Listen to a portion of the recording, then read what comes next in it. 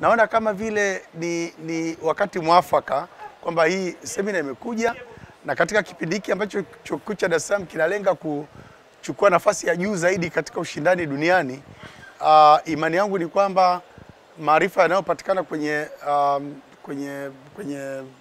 workshop hii ya leo yatatumika katika kuboresha uh, na kufanya watu waweze kuandika kwa ubora zaidi eh, badala kupitisha machapisho yao kwenye platforms ambazo unaweza ukapeleka leo, kesho kuta ukakuta chapisho limetoka bila kuwa na umakini ambao hasa uh, platforms zingine ambazo hasa tunahamasishwa tuzitumie kipindi hiki uh, zina, zinafanya.